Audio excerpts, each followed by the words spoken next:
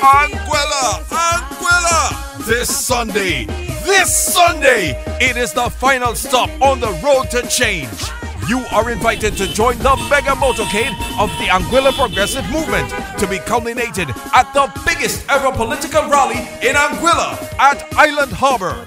Anguilla, we are in the verge of making history together, and so you don't want to miss this historic occasion.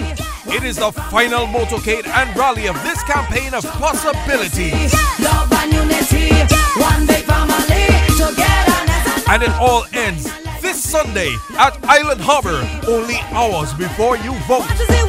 Vote the boat because change can't wait.